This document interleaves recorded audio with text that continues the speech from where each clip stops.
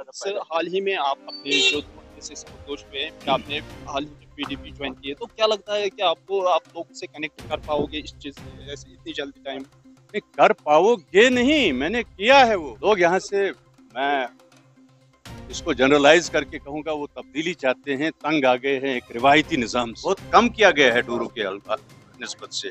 यहाँ तो बुनियादी तौर पे पोस्ट इस वक्त हमारे आए हैं टूरो कॉन्स्टिट्यूंसी में और हमारे साथ फार्मर जज जो ये यहाँ पे कैंडिडेट भी है।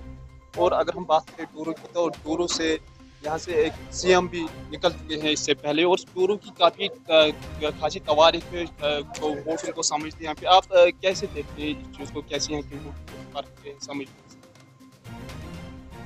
मेरा कहना यह है कि गुरु का जैसे आप कह रहे हैं कि एक सियासी सियासी की पस मंज़र है। मजहबी भी है सकाफती भी है और इल्म अदब के लिहाज से। तो यहाँ से आपको काफ़ी शख्सियतें मिलती हैं। सईद मीर कासिम साहब यहाँ हमारे वज़ीर अला रहे हैं। सैद हुसैन साहब भी काफ़ी अला सियासी मनसब पर रहे हैं।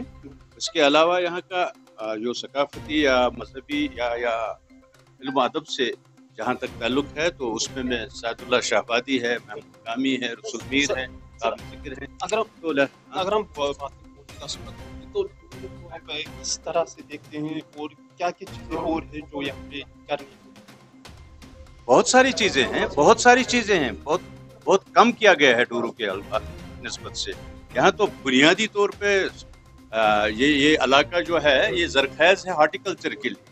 तो हार्टिकल्चर की नस्बत से यहाँ तो कुछ पेशरफ नहीं हुई।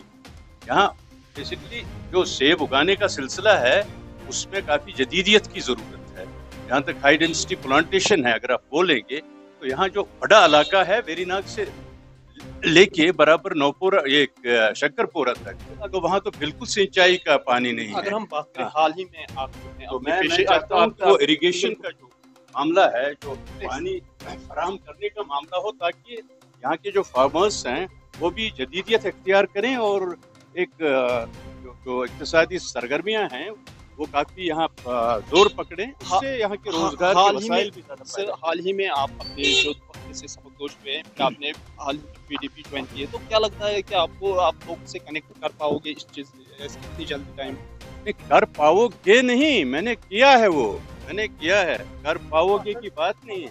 आप आइए देखिए और पहचानिए और परखिए उस चीज़ को।